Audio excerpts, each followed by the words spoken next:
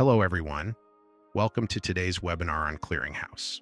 My name is Scott Kester. I have been training individuals in trucking firms about compliance for over 31 years.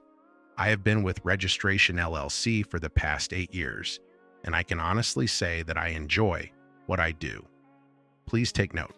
If you have any questions, please post them in the comments, and I will answer them towards the end of this presentation, or you can always call the office Monday through Friday and ask for me or one of my colleagues. Okay, today we are going over today's session on the FMCSA clearinghouse updates. We've noticed there's been quite a bit of curiosity and a number of inquiries regarding the FMCSA clearinghouse, its purpose, its operation, and who needs to comply. So let's dive right into our discussion, aiming to clarify these points and outline how Registration LLC can assist you throughout this process. We'll start with a foundational overview of the FMCSA clearinghouse, the essentials like who is involved, what it encompasses, and the key timelines and locations. Then we'll delve into what these updates mean for employers, particularly our Registration LLC clients, and what changes you should anticipate moving forward. To begin with, what exactly is the FMCSA Clearinghouse? At its core, it is an online repository providing FMCSA stakeholders instant access to data on drivers' drug and alcohol infractions, negative return to duty test results, and the completion of follow up testing programs. This system was mandated by a piece of congressional legislation known as MAP 21, which was enacted several years ago.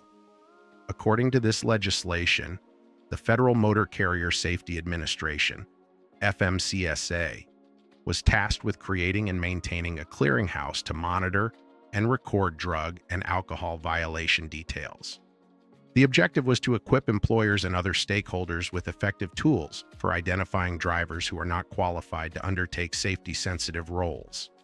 Currently, employers hiring FMCSA regulated CDL drivers need to contact the driver's former safety sensitive regulated employers over the past three years to check for any drug and alcohol violations and confirm that the driver has completed any required return to duty processes. Nowadays, when a potential CDL driver is being considered for employment, the employer must reach out to their previous DOT regulated employers, regardless of the agency, be it PHMSA, the Coast Guard, or the FAA. This is to verify if there's any critical drug and alcohol violation information pertaining to that driver. However, the current method has its shortcomings. Prospective employees don't always report their previous employers or violations. If an applicant doesn't disclose they worked for an employer where a violation occurred, the current employer might be left in the dark. There's a gap here that needs addressing. Additionally, former employers when contacted, may sometimes fail to respond or outright refuse the request for information. Consequently, drivers who should not be on the road can end up employed and driving, endangering the employer and the public. The introduction of the clearinghouse affects various stakeholders within the industry employers of CDL drivers, the drivers themselves, medical review officers, MROs, substance abuse professionals, SAPs, state driver's license agencies, and consortium or third party administrators like the Registration LLC team. The roles and responsibilities of different stakeholders in this process are diverse. Starting with employers, they are tasked with conducting pre employment and annual inquiries on drivers as well as reporting any specific driver violations as they arise. Drivers, on the other hand, must grant electronic consent for these pre-employment and comprehensive queries and have the ability to review the accuracy of the reports within the clearinghouse. Medical review officers, MROs, have the duty of reporting any specified driver violations. Substance abuse professionals, SAPs, are responsible for documenting details of return to duty programs. Meanwhile, state driver's license agencies are mandated to perform queries before handling licensing transactions. The ultimate aim is for these state agencies to conduct these queries during the renewal, address change, or medical card update processes for commercial driver's licenses, CDLs. By 2025, employers will be obligated to verify with the clearinghouse to ensure that there are no outstanding drug and alcohol violations against drivers. Should a violation exist and the driver has not completed the return to duty process, the transaction would be denied, rendering the driver ineligible to retain their CDL until the matter is resolved. Third party administrators, TPAs, may also report violations or make queries on behalf of employers. Understanding queries. Definition of a query. A query involves conducting an electronic search in the clearinghouse to ascertain whether any current or prospective employees are barred from performing safety sensitive duties due to unresolved drug and alcohol program violations. This system supersedes the need for employers to reach out to former employers individually. From 2024 onwards, employers will report all relevant information to the clearinghouse, allowing a single query to retrieve comprehensive drug and alcohol violation data for a driver. Now, the categories of queries 1. Limited query, utilized for annual reviews of current drivers or for occasional checks requires the driver's consent, specifying the duration and frequency of checks. Consent can be documented electronically or on paper in the driver's qualification file. If no records are found, no further measures are necessary. If records are discovered, a full query must be initiated within 24 hours. If not, the driver must be removed from safety sensitive roles. 2. Full query necessary for pre employment screenings, or if a limited query reveals records. Consent is tracked electronically via the clearinghouse. Drivers are notified through email to log in and provide consent. If a driver is not registered with the clearinghouse, a letter will be sent to their commercial driver's license address, which could take 10 to 14 days. Without the driver's consent, they are prohibited from engaging in safety sensitive functions, authorization and monitoring, limited query, authorization stored externally from the clearinghouse, may be electronic or on paper. Next is comprehensive query, authorization administered by the clearinghouse. The driver receives the electronic notice. If a driver refuses or does not consent, they must be immediately removed from all safety sensitive duties. Employers are required to ensure that all queries are conducted promptly and in compliance with FMCSA standards. A complete query will be executed on your behalf. Should there be any infractions or details regarding return to duty processes, these will be disclosed. If a driver has violated regulations and lacks a negative return to duty test result. They must be removed from safety sensitive roles and commence the return to duty procedure. If no violations exist, or if a violation is accompanied by a negative return to duty test, no further action is needed. To clarify, pre employment queries must be comprehensive, starting January 6, 2024. All new hires require a full query, which uncovers drug and alcohol violations directly to the prospective employer. Drivers need to provide electronic consent directly to the clearinghouse. Annual queries can be either limited or comprehensive, performed yearly for each driver. A limited query only reveals if there's information to review, while it's up to the employer to maintain their own written or electronic records of authorization for these limited queries. Such authorization documentation is kept outside of the clearinghouse and may be reviewed during compliance checks or safety audits. An annual query can also be comprehensive if preferred. Should a limited query indicate that more information is available in the clearinghouse, or if you opt for a comprehensive query, it will proceed electronically. Note that the initial annual query for drivers employed before January 6, 2024 must be completed by January 5, 2025. You'll have till the end of the year for your first annual query of these drivers. Remember, electronic authorization for comprehensive queries is managed by the clearinghouse, not the employer or a CTPA.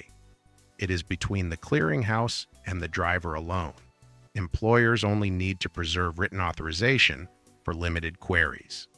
Drivers must give consent for a comprehensive pre-employment query before they can perform safety-sensitive duties for a new employer. Additionally, drivers are obligated to provide consent for full annual queries within 24 hours of receiving the request from the clearinghouse, or they will be removed from safety-sensitive functions. Beyond handling inquiries, employers also have a mandate to report specific violations within a strict time frame.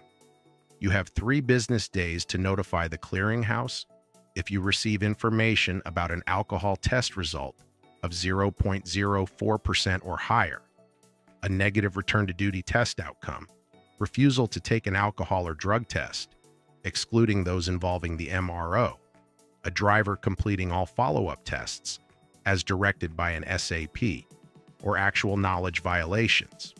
If this notification comes on a Friday, remember to exclude Saturday and Sunday from your calculation. Now, what constitutes actual knowledge? According to Part 382, this involves directly observing an employee using alcohol or drugs, or issuing a traffic citation for operating a commercial motor vehicle, CMV, under the influence. It also extends to situations where a driver admits to using controlled substances. Dealing with these admissions can be complex, so it's advisable to consult the FMCSA. Note that Diesel won't assist in reporting instances where a driver self-admits to drug use due to the necessity of specific affidavits that must be submitted to the clearinghouse by the employer directly. While such cases are uncommon, employers must handle them independently drivers hold the responsibility of granting consent for limited queries. They must provide written general consent to motor carriers and respond to electronic consent requests from the clearinghouse. Drivers can also access their information in the clearinghouse to verify its accuracy. They may correct issues like name spelling, CDL, number inaccuracies, or incorrect dates but cannot dispute the actual test results themselves. They cannot contest the MRO's positive determination or a collection site's decision on test refusal via the clearinghouse. MROs are tasked with reporting verified positive, adulterated, or substituted test results for controlled substances, not alcohol. They also report test refusals that need their judgment. The SAP documents the identification of the driver and the initial SAP assessment date, marking the beginning of the return to duty process, alongside the successful completion of treatment or education and eligibility for return to duty testing. Employers have no additional tasks regarding these reports, as MROs and SAPs create their own clearinghouse accounts independently employers don't need to appoint the MRO or SAP. Upon receiving relevant information, MROs and SAPs have a regulatory obligation to report it.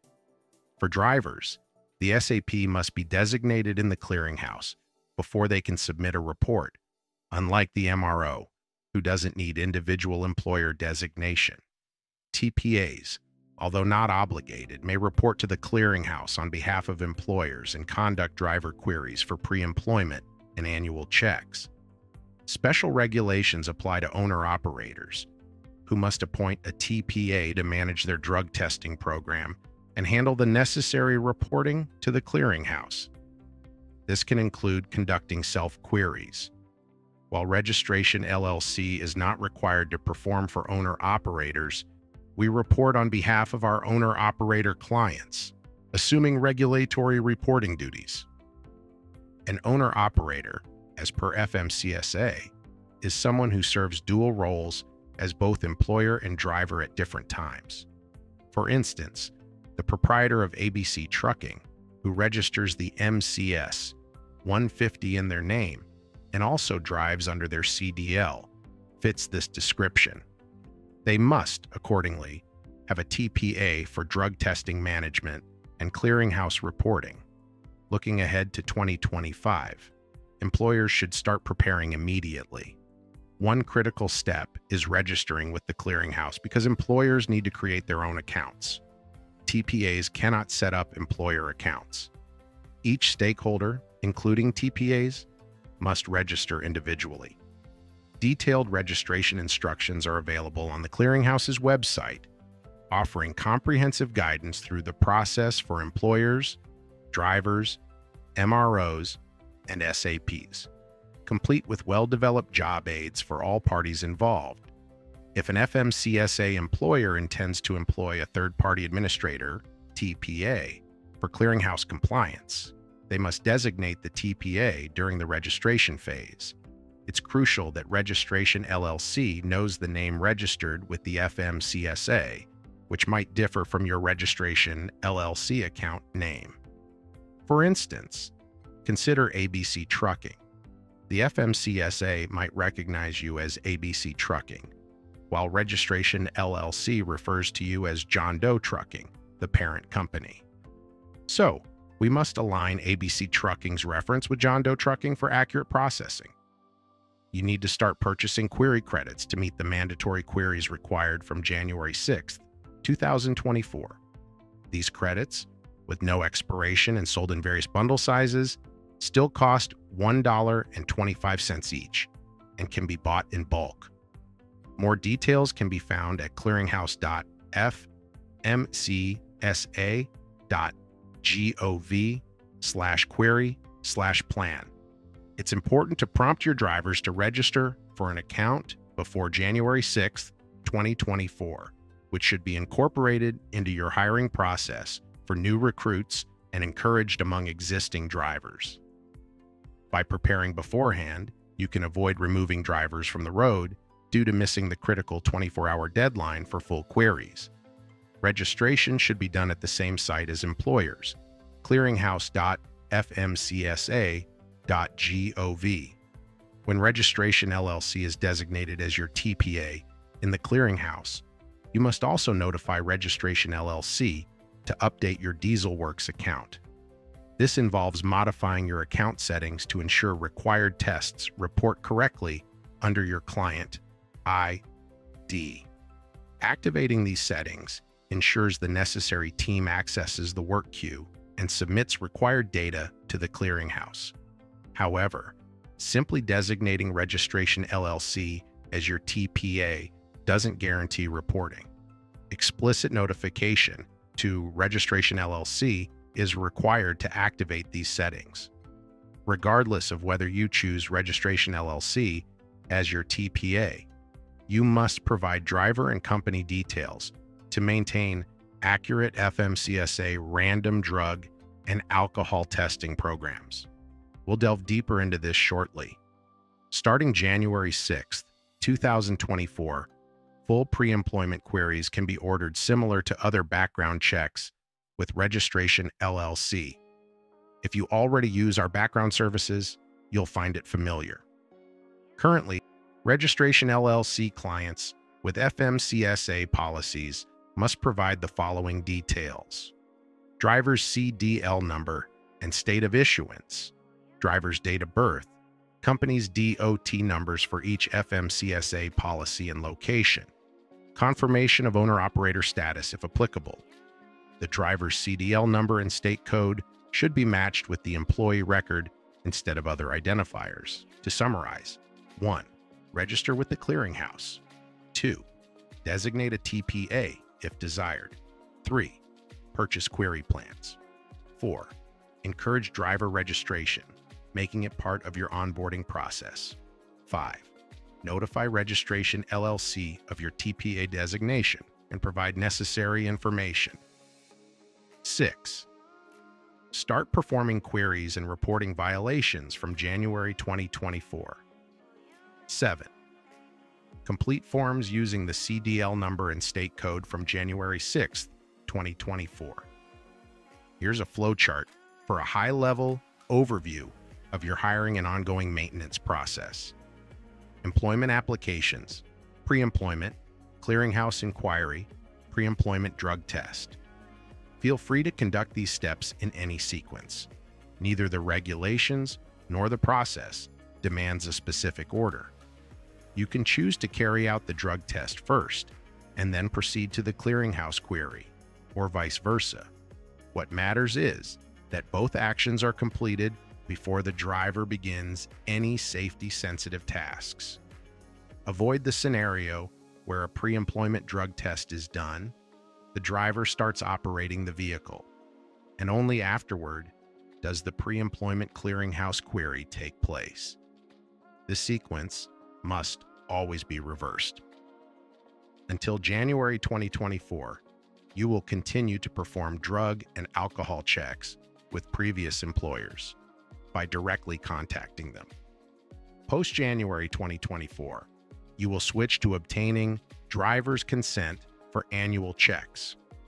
Compliance with all DQ file requirements remains a must, including keeping motor vehicle records, road test documents, and commercial driver's license copies. These should be kept either in the DQ file or another designated file. Regular monitoring of your driver qualification files and your drug and alcohol program is essential to meet both annual and ongoing requirements annual clearinghouse queries, both limited and full, need to be conducted, alongside managing other annual DQ needs such as motor vehicle records. Report any drug and alcohol violations to the clearinghouse, or Diesel will handle it if you're a client. In the event of a driver's termination, records must be retained for the correct period, which varies by record type ensure that all related information is appropriately maintained in the DQ file or another suitable file. Keep a close eye on your DQ files and your drug and alcohol program to remain compliant. It's critical to note that the clearinghouse lacks an application programming interface, API, eliminating any options for automation. All tasks must be completed manually on the clearinghouse website you do have the option to perform batch queries by formatting them in a specific Excel TSV file. You can upload up to 100 drivers at a time into the clearinghouse, which will process each query. This is the extent of automation available, uploading data in an Excel format and submitting it. Currently, there's no capability to automate these tasks through a simple interface or by using a third-party service like DieselWorks or other CTPAs. These must be done manually, with no announced plans for future automation due to certain security requirements mandated by the federal government. It's important to mention that Diesel cannot function as your CTPA unless you are an active Diesel client. To handle reports for you, we require an FMCSA compliant drug and alcohol policy. Without processing your drug tests, we can't generate reports on your behalf. For us to perform queries, you'd need to sign up for our background services and DQ service for tracking compliance. Come January, the transition to using CDL numbers might cause some industry-wide challenges, including potential roster duplication errors if records have been kept using Social Security numbers. Identifying clients in the clearinghouse can be cumbersome due to discrepancies between employer names as known to us and is listed with the FMCSA. For instance, we may know a business as John Doe Trucking, but it's registered with the FMCSA as ABC Trucking. Without other identifiers like DOT numbers or emails, we have to diligently cross-check to ensure accurate recognition. Query delays could occur due to drivers not giving consent, possibly because they are not registered with the clearinghouse or simply ignoring their emails. If drivers do not consent to a full query promptly, you'll have to pull them off the road. It's beneficial to inform drivers when you've requested a full query so they can promptly respond and avoid being sidelined. Query delays might also arise from insufficient query credits. Although Registration LLC can't order query bundles on your behalf, we can monitor your balance and alert you when credits are running low. The clearinghouse will notify employers about low balances, though the specifics of these alerts haven't been clarified. Plan to collaborate closely with us in registration LLC to ensure a smooth rollout. Preparation is key. We've been diligently preparing to support this transition. Although the clearinghouse final rule appeared in 2016, operational details only emerged in early 2024. We've worked hard to stay updated and will continue working closely with you in 2025 to ensure everything proceeds smoothly. Please begin preparations now, or please call 866 477 0707 or visit us at fmcsa registration.com